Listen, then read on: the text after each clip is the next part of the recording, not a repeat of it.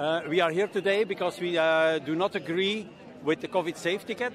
Uh, we think the COVID safe ticket is discriminating. It makes a distinction between people who has taken the vaccine and people who don't take the vaccine. So it's it's an apartheid regime, you could say, and um, everyone has the freedom to take the vaccine, yes or no.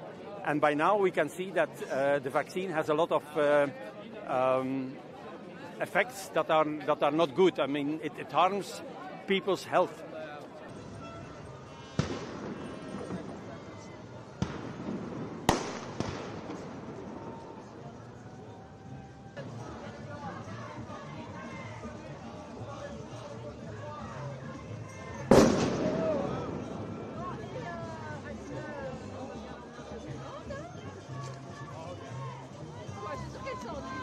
I'm not an uh, anti-vax uh, in principle, but uh, in this case, a, vac- a vaccine is uh, not developed in, uh, in a standard manner, which takes normally uh, four, five, until ten years. And this this case, it was six months.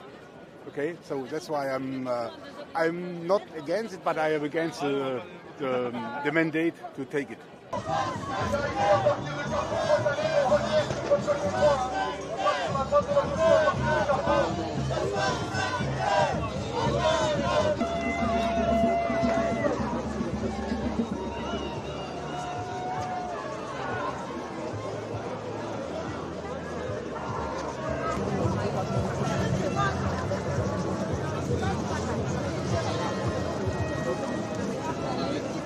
Uh, the better solution for me would be to continue maybe putting the mask and having the distance, uh, the social distance, and uh, not to do vaccine or therapy uh, like that uh, and force people to do it. It's not okay.